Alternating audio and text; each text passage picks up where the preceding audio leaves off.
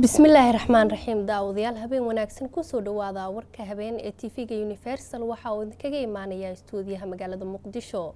Qodobada wararkeenana waxaa ka mid ah. Madaxweynaha somalilan ayaa waxa uu ka qeyb galay munaasabad markaasi salaad roobdoon ah oo lagu dukaday magaalada hargeysa. Maamulka gobolka banaadir ayaa wado dardargelinta dhismayaasha goobaha danta guud ee magaalada muqdisho jaaliyada soomaaliyeed ee ku nool london ayaa waxaay kulan la qaateen duqa degmada newham waxayna kala hadleen dilalka loo geysto dhalinyarada soomaaliyeed ee ku nool dalkaasi. Maamulka gobolka shabeellaha hoose ayaa waxa uu gudoomiyaasha deegaanada mareerey iyo sabiib u magacaabay gudoomiyaal cusub waxaana dhowaan halkaasi la wareegay ciidamada dowladda soomaaliya nalalka ku shaqeeya cadceedda ayaa laga hirgeliyey degmada buulaburde ee gobolka hiiraan intaasi daawadayaal waxay ahaayeen qodobadii wararkeena u diyaargaroowa warkaasi warar kale oo dheeraad ah. Mar kale habeen wanaagsan. Madaxweynaha somalilan muuse biixi ayaa waxa uu maanta ka qeyb galay salaad roobdoon ah oo lagu dukaday magaalada hargeysa. Faahfaahinta warkan waxaa inoo soo diray wariyaheena cabdirashiid cabdiwahaab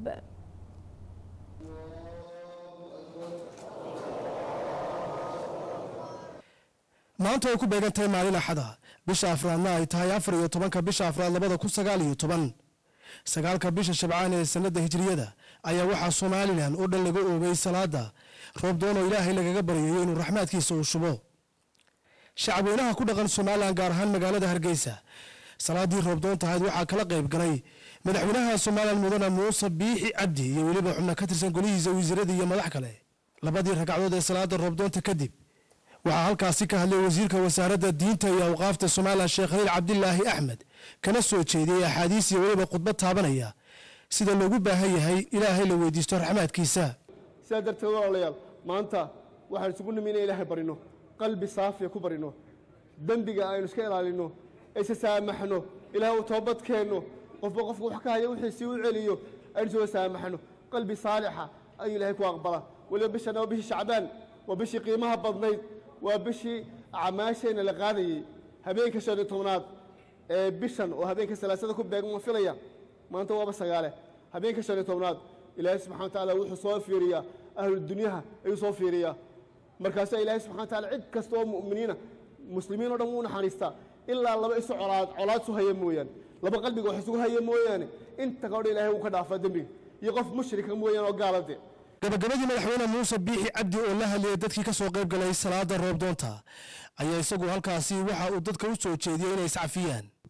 Muuse biixi cabdi madaxweynaha somalilan ayaa waxaa kale u soo jeediyey shacabka ku dhaqan somalilan in maalinta beriya ay ku beegan tahay maalintii dhereynta loo asteeyey somalilan shan iyo tobanka bisha afraad islamarkaana qof kasta oo ku nool somalilan uu beero halgeed iyo wixii ka badan.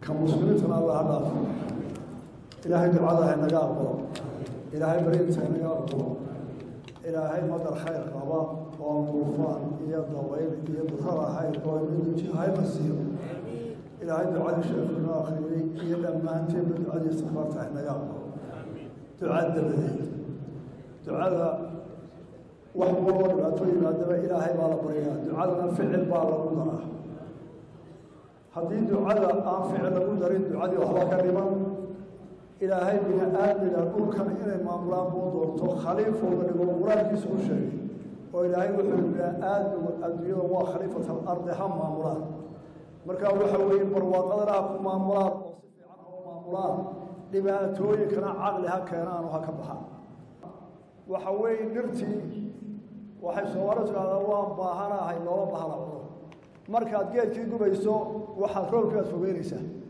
زرعي بضع بيريسا وإنه نرتا وإنا بقالينا oo jaridda ka dayna inagoo baahan ilaahay arsaaqad kale wanaagsan karaaya waxa kale oo inuu waajiba geedkii abaarta jabinaysa in la wada jarayna intaasoo qof baa inuu raayeen dhir weynu beeri karaa waxaanu soo jeedinay berrito shan tobanka eber sanad walba inaan dhirta beero maatinsaanu ka dhigno geed midho iyo mid harba berrito waxaan ka codsanayaa somalilan gobollada o dhan inuu gobolaba soddon kun oo geed beero. Qof waliba hadduu ka badin karayo uu ka badiyo si aynu uga baxsano abaara cabdirashiid cabdiwahaab xuseen universal t v. Hargeysa. Nalalka ku shaqeeya cadceedda ayaa waxaa laga hirgeliyey degmada buulo burde ee gobolka hiiraan sida warkan uu inoogu soo diray waryaheena aadan cabdi axmed hirgelinta mashruuca nalalka cadceedda ku shaqeeya ayaa waxaa iska kaashaday sanduuqa xasilinta soomaaliya iyo dowlad goboleedka hirshabeelle waxaana laga hirgelinayaa degmada buulo burde ee gobolka hiiraan. Gudoomiyaha degmada buulo burde cabdicasiis cabdulle duurow iyo duqa degmada buulo burde maxamed cawaale gorgorshe ayaa si wada jir ah uga qeyb galay xaflad lagu surayey baalihii ugu horeeyey ee laga hirgeliyay waddooyinka degmada buulo burde waxaa maanta sharaf noo ah mashaariicdii ka socotay degmada buulo burde. Soolarkii in maantay aan baalladii ugu horeysay aan taagnay oo maanta aan xaragga ka jarnay sharafay noo tahay waana furan yahay baallahaas. Afartan baallo ayuu ka mid yahay oo magaalada inay ka faa'iidaysto loogu talagalay. Afartan askari oo ku soo korortay degmada buulo burda waa afartan askari oo ku soo korortay waa ammaanka ayuu ka qayb gelayaa ayuu ka muhiim noqonayaa. Marka waxaan u sheegaynaa dadweynaha reer buulo burde inay ilaashadaan ayagaa iskale. Ganacsiga ayuu wax badan ka kaalmaynaa anigoo ah maayirkii degmada buulo burde iyo guddoomiyihii degmada ayaan maanta xaragga ka jarnaya dhammaan maamulkii qaybihiisa kala duwan. Arrinka isaga ah waa sida hore loo sheegay. Waa mashaariicdii magaalada aan ka wadnay. Runtii waxaa hawshan wada maamulka degmada dowladda soomaaliya heer dowlad goboleed heer qaran iyo heer degma ayaa hawshaan iska kaashaday oo wada hab dawliay ku socdaan dowladdaana wada intaa kadib waa fursad qaali ah. Degmada buurtuna fursad u ah. Amnigay qayb ka tahay ganacsigay qayb ka tahay. Qaybaha kala duwan ee bulshada ku dhaqan magaalada buulo burde ayaa soo dhoweeyey hirgelinta nalalka cadceedda ku shaqeeya waxaana ay ku tilmaameen tillaabo wanaagsan oo dhinaca horumarka iyo nabadgelyada loo qaaday elayskii ama soolarkii degmada buuloburde ay ka dhaqangeliyeen dowladda dhexe iyo iskaashatooyinka iyo qolada inji-ooyada iyo maamulka degmada ay u dhan yihiin. Maadaama aan nahay annagu odayaashii degmada ama ganacsi aan ahaano ama aan dhaqan ahaano ee deganaa waxaan u mahad celinaynaa cid kastoo ka qayb qaadatay barnaamijkan. Macnaha ay ugu qayb qaateen quruxda magaalada bilicda iftiinka waxyaabo badan oo muhiimahu qaban doonaa insha allah cid kasta oo ka shaqaysay abaalgud allah ugu beddelaan leenahay. Waa baallihii ugu horreeyey oo laga suuro degmadan wuxuuna leeyahay hamiye badan ayuu leeyahay. Hamiyada uu leeyahay waxaa ka kow ah awalan qofkii uu u daaran yahay cidlo ma dareemaayo. Mashaariicdii ayuu ka tirsan yahay. Aad ayaan ugu faraxsannahay maadaama aa noola suray soolarkii ugu horreeyey magaalada geeska gees la suray oo ifinayo. Bata waa magaalada way shidan tahay waa ku faraxnay. Qaarlaasiidkii noo keenay. Waa markii ugu horeysay oo laga hirgeliyo nalalka cadceedda ku shaqeeya degmada buulo burde ee gobolka hiiraan taasi oo muddooyinkii dambe aanu ka jirin horumar ballaaran maadaama ku dhowaad lix sannadood ay waddooyinka ka xiran yihiin. Aadan cabdi axmed universal t v beledweyne maamulka gobolkani banaadir ayaa wada dardargelinta dhismayaasha goobaha danta guud ee ku yaalla magaalada caasimada ee muqdisho. Cumar maxamed soomane ayaa warkan faahfaahinaya. Iyadoo uu soconayo dhismooyinka lagu samaynayo goobaha danta guud ee gobolka banaadir haddana waxaa xilligan dardar xoog leh ku jira dhismayaasha lagu samaynayo xarumaha maamulka degmooyinka gobolka degmada kaaraan waxaa hadda taagan dhismaha garoonka kubadda cagta qoob dooro waxaana hirgelinta dhismaha garoonka ay ku timid ballanqaad uu sameeyey. Gudoomiyaha maamulka gobolka iyadoo dhismaha garoonka kubadda cagta qoob dooro uu ahmiyad weyn ku fadhiyo. Dhallinyarada ku dhaqan degmada kaaraan gaar ahaan kuwa xiiseeya kubadda cagta. Gudoomiyaha maamulka degmadaasi cabdifataax nuur cali ayaa telefishinka universal uga sheekeeyey ahmiyadda dhismaha garoonka kubadda cagta qoob dooro iyo muhiimadda uu u leeyahay bulshada deegaanka mashruucan dhismaha garoonka qoob dooro waa mashruuca ugu weyn oo maamul gobolka banaadir degmadan uu ka wado. Mashruucan waxaa lagu qiyaasaa adduun dhan half milyan dollar ku dhow inuu ku bixi doono. Waxaa laga dhisi doonaa garoon caalami ah oo dherarkiisu uu yahay boqol mitir ballaciisuna uu yahay siddeetan iyo shan mitir. Waxaa la dhigi doonaa roog wuxuu yeelan doonaa jardiimin daawadayaasha ay fadhiistaan wuxuu yeelan doonaa qolol maamulka uu fadhiisto musqulo ay isticmaalaan cayaartoyda iyo maamulka. Wuxuu yeelan doonaa qayb v a b ah. Sidoo kaleentood wuxuu yeelan doonaa dukaaman ama shoobyo loogu talagalay sboortiska sidoo kale maamulka degmada ayaa wada dhismo lagu samaynayo mid ka mid a waddooyinka laamiga ah taasi oo laga hirgelinayo gudaha degmada kaaraan iyadoo bulshada deegaanka hirgelinta waddadaasi ay baahi weyn u qabeen goobaha muhiimka ee dayactirka uu ka soconayo waxaa sidoo kale ka mid a bulaacadaha biyaha keediya ee gudaha degmada boondheere ee gobolka banaadir waxaana si isxilqaama u dhisaya maamulka gobolka banaadir bulshada ku dhaqan degmada boondheere iyo maamulka degmadaasi. Dhismaha xarunta maamulka degmada yaakshid ayaa ka mid a goobaha xilligan dhismooyinka xarumaha maamulka gobolka banaadir uu sida xawliga leh uga soconayo sidoo kale gudaha degmada yaakshid waxaa ka soconaya dhismaha mid ka mid a waddooyinka laamiga ah ee muhiimka u ah isu socodka gaadiidka iyo dadweynaha ee gudaha degmadaasi. Wallaahi waan soo dhoweynaynaa haddaan nahay bajaajleyda ka shaqaysata magaalada. Waddadan markaan dad u soo qaadnoo kale waxay noqonaysaa in laba liitar saddex liitar oo dheeri aan isticmaalna bacaadka. In la dego oo la riixo ay noqonaysaa ma fahamte? Wallaahi haddeertaana waxaa waaye daqiiqad ku geed daqiiqad ku imaa maasha allah waan soo dhoweynaynaa maamulka iyo dadkii ka qayb qaatay kulli aad baan ugu dirsanay aad baan ugu faraxsannahay waxaan rajaynaynaa in kuwa kale kuwaan la mid ah in sidoo kale loo dayactiro ayaan rajaynaynaa. Aad baana maarata ugu dirsanay. Maxaa yeele dhib badan baan ku qabnay umuluhii baa mari waaye baabuurka bajaajkii baa noo soo geli waaye iskoolaadkii baa laga aadi waaye. Laakiin maanta alxamdulilah shukr bilcaalamiin waxaan si nashaad oo farxadi ka muuqato ayaan maarata u maraynaa gudoomiyaha maamulka degmada yaakshid cabdiweli cabdulaahi maxamed ayaa tallaabada dib u dhiska xarunta maamulka degmada ku tilmaamay inay ahaan doonto mid ka mid a dhismooyinka ugu quruxda badan xarumaha maamulka degmooyinka gobolka. Waa mahadsan tahay waxaan hadda xilkan laysoo magacaabay saddex bilood ka hor. Waxaan xilkan hadda hayaa muddo saddex bilood ah. Waxaan bilownay shaqo aan ugu talagalnay in aan ku ballaarino xafiismanka ay ka kooban tahay xarunta degmada waxayna waxaana meel fiican noo maraya sida aad hadda ujeedaan dhismihii oo qeybtii labaad oo dhismaha aan soo afmeernay waxaana rajeynayaa sida aan horeba u qabsanay inaan muddo kooban aan ku dhisi doono xarun. Yacni la dhihi karo waa xarunta ugu wanaagsan toddoba iyo tobanka degmo.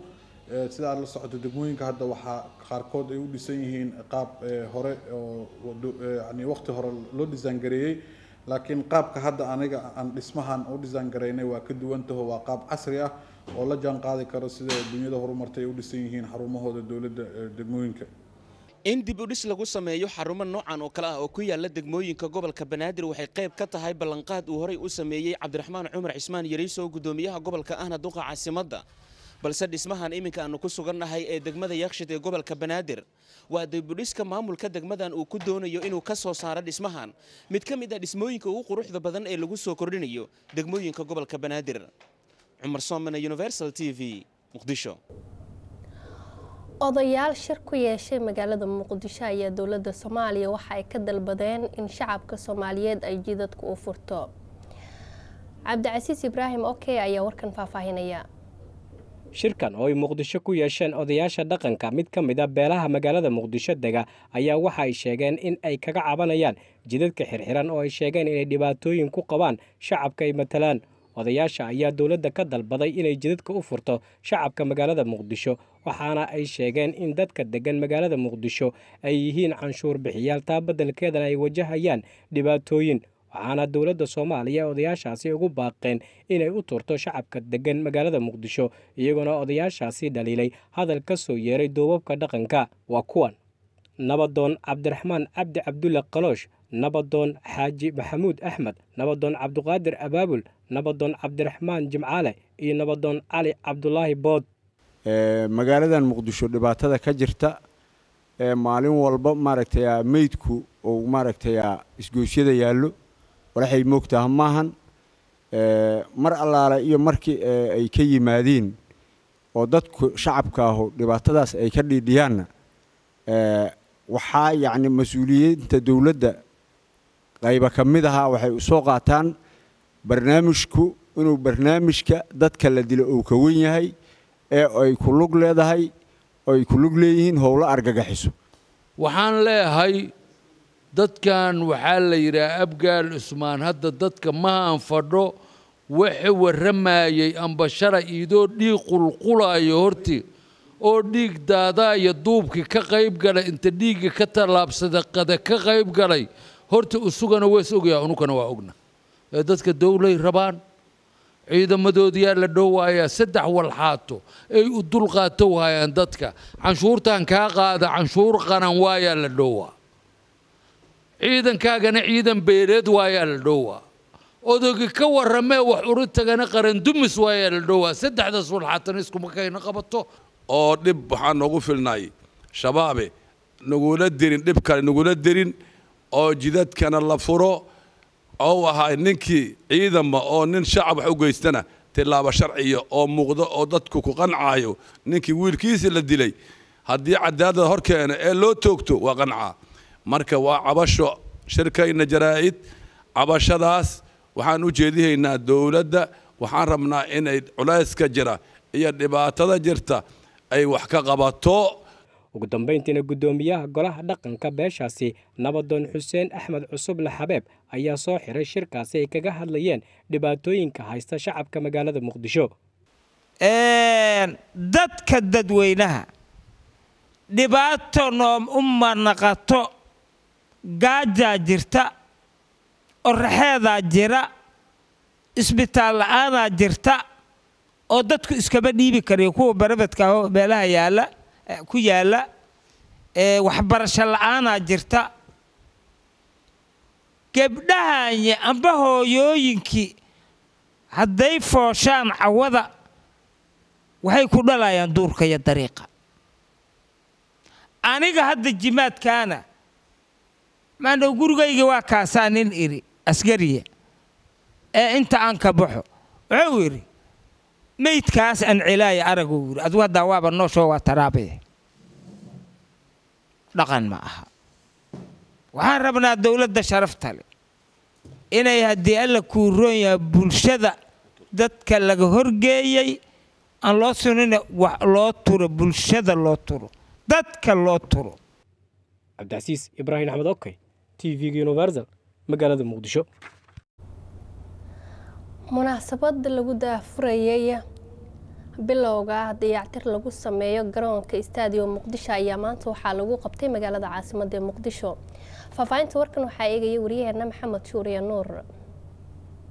Munaasabadan ayaa lagu qabtay xarunta wasaaradda dhallinyarada ee ciyaaraha soomaaliya. Ujeedku wuxuu ahaa in la bilaabo dhismaha garoonka dadan ee muqdisho kaas oo si guud la isugu yidhaahdo tulada cayaaraha waxaa ka qayb galay wasiirka wasaaradda dhallinyarada ee ciyaaraha soomaaliya marwe khadiijo maxamed diiriye agaasimayaal ka tirsan wasaaradda madaxda xidhiirada iyo mas'uuliyiinta shirkadda dhismaha ka sameynaysa garoonka muqdisho ee tis blasa la yidhaahdo. Goobta shirkadda tis blasa waxay ku soo bandhigtay lacagaha ku baxaya dhismaha tuulada ciyaaraha dalka oo la rumaysan yahay soo laabashadeeda inay wax weyn ka bedeli karto guud ahaan ciyaaraha dalka intaa kadib wasiirka wasaaradda dhallinyarada ee ciyaaraha soomaaliya marwe khadiijo maxamed diiriye oo goobta ka hadashay ayaa si faahfaahsan uga warbixisay sida dowladda soomaaliya ay uga go-an tahay in la dhammaystiro wax walba oo la xiriira garoonka dadan ee muqdisho. Qorshaha qaran ama barnaamijka qaran ee isxilqaan ayayna qayb ka tahay uu hormuudka ka yahay madaxweynaha jamhuuriyadda federaalk soomaaliya mudane maxamed cabdulaahi farmaajo in la isku tashado wixii kale oo caalamka ama dadka soomaaliyeed ama dowladda ay awoodana lagu kabo oo loo raadiyo. Marka wejigaas koowaad hadda ka ayaan presentation bilownay. Hay'addana la joogta dhaqaalihii wejiga koowaad ee gobolka banaadir iyo nadaafadii markay soo gabagabowday. Waxaan uga mahad celinaynaa wadanka norway oo gacan ka geystay. Qeybtan labaad xoogeeda sida boorka ku cad waxaa bixinaya midowda yurub dhaqaalihii faraha badnaa oo loogu talagalay guud ahaan dayactirkana fari kama qodna faanoole waaye. Haddana inta la hayo ayaa lagu dhaqaaqaya. Waxay la saxiixdeen hay'addii subcontract oo bilaabeysay dhismaha annaga waxaan rabnaa inay wixii socdaan hawshii deg deg noqoto dadka soomaaliyeed gaar ahaan bahweynta isboortiga gudaha dalka iyo dabaddaba ishaa lagu wada hayaa in ay deg deg noogu bilaabato. Maanta marka waxaa la soo bandhigay waa qaybtii kubadda cagta sida loo yaqaano oo ay ku hoos jiraan laba garoon oo kale. Waxaa ku hoos jira kubadda cagta marka la dhaho wareegii oo standardka caalamiga ah ee orodka oo sideed riigo iyo marka fadhiga v i b da qeybteeda laga fiiriyana waxaa ku hoos jira tenniska iyo xafiisyadii kale ee lagu shaqeynayay intaas iyo nalalkooda iyo dayactirkooda guud ahaan musqulahooda xafiisyadooda ayaa bilaabanaya. Maxamed shuriye nuur universal t v muqdisho. Wadayaasha gaadiidka dadweynaha ee magaalada hargeysa ayaa waxay ku dhawaaqeen inay sameeyeen shaqo joojin. Faahfaahinta warkan waxaa hargeysa ka soo diray waryaheena mukhtaar ismaaciil basaska ka bixi jiray labiyo toban istaan kuwaasi oo u kala bixi jiray. Xaafadaha kala duwan ee magaalada hargeysa ayaa gebi ahaanba maanta joojiyey shaqadii ay bulshada u hayeen waxaana sheegeen inaan ilaa hadda la xakamaynin. Cabasho ay qabeen oo ku salaysnayd gaadiidka yaryar ee fitista iyo brobogoska oo aan ilaa hadda kala xadayn loo samaynin gudoomiyaha iskaashatada basaska waaweyn cabdiraxiin maxamed yuusuf oo warbaahinta la hadlay ayaa waxa uu sheegay inaan ilaa hadda waxba laga qabanin cabashadaasi ay gudbiyeen. Sidaad ogtihiinba shaqada waanu joojinay maanta. Waxaanu nahay labiyo toban istaan oo ururka city bas oo basaska ah. Labiyo tobanka istaanba shaqadii way istaajiyeen. Waxaanu u istaajinay arrimo nabadgelyo daraaddeed arrimaha nabadgelyada waxaa ka mid a kala xadayn la'aan baahsan oo dhex taalla basaskii iyo bareebogostii iyo caasiyadii waxaa kaloo jirta istaan allaaliya istaan aanu ka baxnaa ma jirto. Halkaanu ka baxayna waxaa nagu qabsanaya baskii ururkii basaska iyo bir laga taagay meesha. Ayaa kala awood badan. Birtii laga taagay baan cidna naga qaadayn istaamadii aanu ka baxaynay baanu dheelay wadadaanu taagana wadaanu ka baxnay sidaad ogtihiin waxyaabahaasoo badan baanu ka cabannay. Waxaanu uga cabannay dowladda hoose dowladdii hoose waxbay noo dhaqaajisay waxay noo dhaqaajisay xaggii kala xadayntii tagaasida iyo basaska. Markay noo dhaqaajisay warqaddii dowladdii hoose ka soo baxday toddoba cishay markii warqaddii shaqaynaysay waxaa dhacday ciidankii biliisku ay nagu yidhaahdeen qaybtii barigu nagu yidhaahdeen hawshaasi annagu ma fulinayna dowladda hooseaa fulinaysa annagu shacbi shacbi maamulaanu nay maadaamaanu shacbi shacbi maamulo ma maamuli karayno sagaal iyo sagaal boqol oo ciyaala oo basaska wata iyo sagaal boqoloo barobogas wata marka roodkii dowladdu lahayd meesha ka dhex baxdo ma maamuli karayno. Waxaa dhacda in laysku dilo istaanka dhexdiisii in waddadii laga soo rakaabsanayay oo shilal ka dhacaan oo toorre laysku geliyo. Markaa waxaanu door bidnay in aanu shaqada ka joojinno maadaama ay imanayso dhibaato ka badan dhibaatadii aanu ku shaqayn lahayn. Istaanada ay ka bixi jireen basaskaasi waaweyni ayaa ahaa qaar haawanaya waxaana halkaasi dadkii tubnaa ka gurayay gaadiidka yaryar ay ka cabanayeen basaskaasi waxaana dadweynaha oo tv-ga universal la hadlay ay sheegeen. Waxaan anigu ku tilmaami lahaa baslayaal kibrey oo ummadda lacagtii baslayaashu inay kibreen ayaan ku tilmaami lahaa waxaan sidoo kale aad iyo aad ugu taageerayaa. Nimanka shacabka kulaylkaa dhacaya shacabka u soo gurmaday baabuurta yarra sida maxaan idhahda raaxada barobogaska iyo kuwa la midkaa baslayaasha waxaan leeyahay tallaabo sharciga waafaqsan ha laga qaado. Annagu waxaanu nahay shicibka ku nool xaafadda dumbuluq haddaanu nahay shicibkaa waxaa noo dara basaska. Bartanay ku rogayaan dadka ma gaadhsiinayaan. Basaskii aan naloo daro waxyarna laga qabtay dukaanka waxaan u sheegayaa basaskiina maanta showbareeyeen somalilanna inaanay showbaro u baahnayn dal degan ay tahay hadday cabashadooda waxa weeyaan hadday cabanayaan inay dowladda hoose iyo cidda xukunta inay u cawdaan bay ahayd. Ilaa hadda xukuumadda somalilan wax tallaaba amba jawaaba kama bixin. Go'aankayna qaateen gaadiidleyda basaska ee magaalada hargeysa. Mukhtaar ismaaciil cali telefishinka universal hargeysa. Ugaas xasan ugaas maxamed ugaas nuur ayaa shir ballaaran waxa uu isugu yeeray dhammaan dadka uu ugaaska u yahay waxaana shirkan uu noqonayaa mid wadatashi guud ah oo ay beeshu yeelanayso. Cabduqaadir guure ayaa warkan inoo soo diray.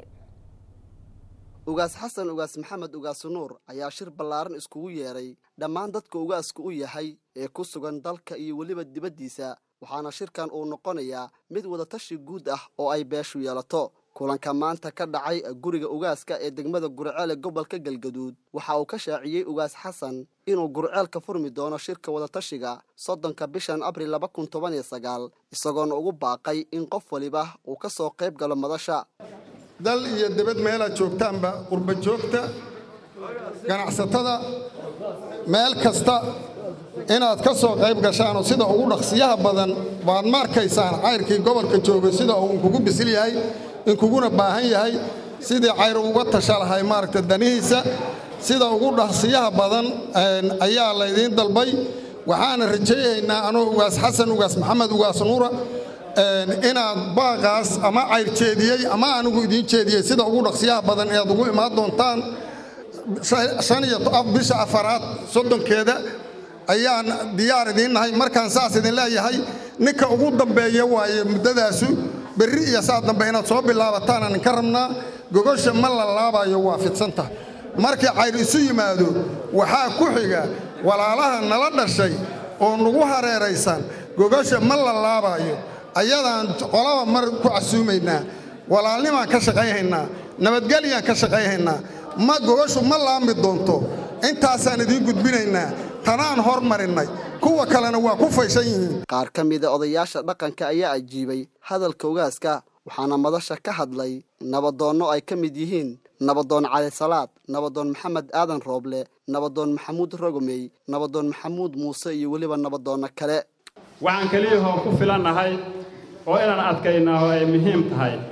Erayga ugaasku uu soo jeediyey oo ah bahdu inay masiirkeeda ka tashato ayadoy ka barax la'dahay wax siyaasad ah iyo wax qoqobriix ah iyo wax kuuma waxaan leenahay meel walba nala ka daawanayo gogashatan waxay taallaa hoolkii guriga ugaaska ee degmada gurceel waxaan leeyahay qurba joogta cabsanina carrada waxaa layna yidhaahdaa bahallaa laynkaga sheekeeya soomaaliya waxaa la yidhaha waa bahalo hal qof ood waardiya ka rabtaan male haddaad soo gaartaan meesha la yidhaha gurceel iyo dhuusumreeb waa nabad warsoosaas maahan hal nin oo waardiyaa uma baahnidin. Waxaa ina sugahaya ganacsatadii odayaalkii dhaqanka dhallinyaradii hooyooyinkii gabdhihii intaasoo dhan baa ina sugaysa shirku waa shir beeleed ma ahan shir siyaasadeed. Dalka soo gala imaada ugaaskiyaa idin dalbaa annagaa idin dalbayna idinka raalliya kii buqay lahaayoo dhammo markaasuu gadaal isu reebi doonaa dhaydkana ugaaskaa sheegi doona. Annaguna waa idin soo dhowaynaynaa ku soo dhowaada. Wax alla wixii aad dhihi jirteen gobolku waa xirmaysan yaha ma jiraan. Awalna ma xirmaysnayn haatanna ma xirmaysna. Diyaaraa laydiin yahay. Ugaaska waxaan ka codsanaynaa aan ku celinaynaa isagoo gartay inuu isku kallifo oo uusan dabcin u yeero mid dalka jooga iyo mid dibadda jooga. Cabdulqaadir guure universal t v gurceel warka habeen ee tv-ga universal ayaa daawanaysaan markana warka dibadda. Dagaal culus ayaa waxa uu ka socdaa qeybo ka mida dalka liibiya dagaal qaraar ayaa ka socda dalka liibiya kaasi oo u dhexeeya maleeshiya daacad u ah hogaamiye jenaraal khaliifa haftar iyo dowladda caalamku aqoonsan yahay ee fadhigeedu yahay magaalada caasimada ah ee tripoli. Dagaaladan ayaa la sheegay inay dhibaato ka soo gaartay dadka muhaajiriinta ah ee ku sugan wadankaasi oo ay ku jiraan boqolaal soomaali ah. Weli ma cadda khasaaraha waxaase wararku ay sheegayaan in dhimasho iyo dhaawac ay ka dhasheen dagaaladan guud ahaan war wixii caalamka iyo gudaha inaga soo gaaray waa naga intaa waad ku mahadsantihiin daawashadeenna kulankeena kan xige nabadgelyo